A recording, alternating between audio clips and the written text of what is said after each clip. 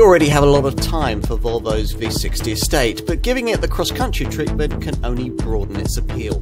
Buyers get a choice of mild hybrid petrol and diesel engines with 8 speed automatic transmission and permanent all wheel drive as standard, plus an off road driving mode. It's not cheap though. Volvo offer two choices under the bonnet of this second generation model V60 cross country.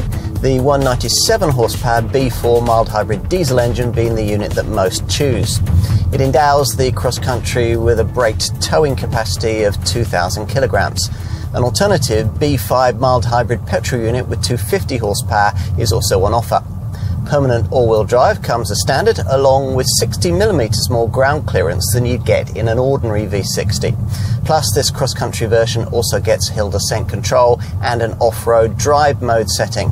So, as you can tell, it's much more suitable for rough road treatment than the previous generation V60 cross-country model.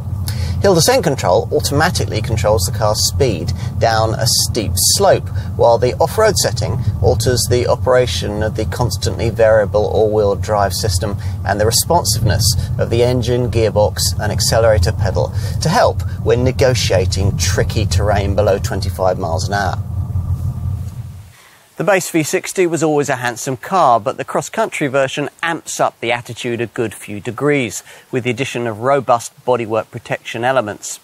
Finished in charcoal grey, these include wheel arch extensions, lower sill mouldings, and a rear bumper embossed with the cross-country logo.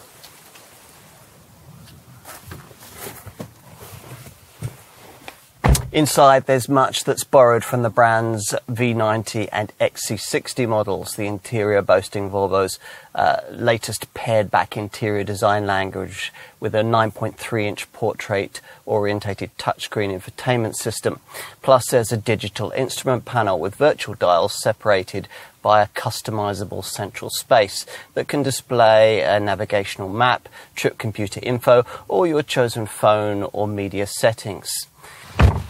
The back seat has comfortable space for two, but the prominence of this central transmission tunnel makes it difficult to comfortably accommodate three. Out back, there's a standard powered tailgate which can be operated with a wave of your foot beneath the bumper if you're approaching the car laden down with bags. It rises to reveal a 529 litre cargo capacity, which is a figure that outstrips that of obvious rivals like the Audi A4 Allroad, the BMW 3 Series Touring X-Drive, and the Mercedes C-Class Estate 4MATIC. Then the 60-40 split folding rear bench folds almost flat. Volvo's Drive E technology means that the WLTP rated fuel returns and CO2 emissions are well up to class standards. For the B4 mild hybrid diesel using the standard 18 inch wheels, the benchmark efficiency figures are up to 48.6 miles to the gallon combined cycle fuel economy with CO2 emissions of up to 153 grams per kilometre. For the B5 mild hybrid petrol variant, the figures are up to 37.6 miles to the gallon and 170 grams per kilometre. There has to be a better way something smarter than the legions of soft roader SUVs. They're inefficient, lumbering, and have become a bit of a cliche. Volvo reckons that the answer's been there all along. Its cross country brand has a long heritage dating all the way back to 1997 when this Swedish brand was the first to take an ordinary estate, then the bigger V70 model, and give it extra all road capability and chunky off road styling.